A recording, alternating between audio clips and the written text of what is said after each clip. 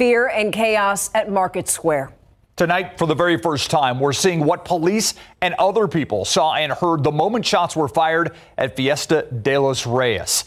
The shooting a little more than one month ago. San Antonio police officers opened fire as they say two suspects shot at each other in the middle of that crowd of people. And tonight we see how all the chaos unfolded on April 28th. A few hours ago, SAPD released the video, which we're about to show you. It comes from the body cameras of two separate officers who SAPD says didn't fire their weapons that night. Let's take a look. So you see a crowd gathered right there on Concho Alley and Dolorosa when suddenly you're about to see it, people duck.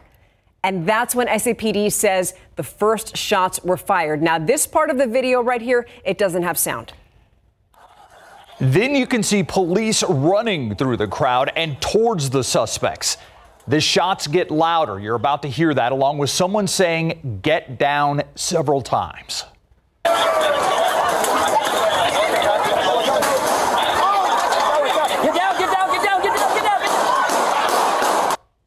Okay, so here's another look from another officer's body cam video, who again didn't fire their weapon. Police are saying that officers responded after 18 year old Mikey Valdez and 20 year old Albert Cisneros were seen shooting at each other that night right in the crowds. Now, in the interest of transparency, we chose to freeze this video so you won't hear the final shots or see the two suspects who were killed on the ground.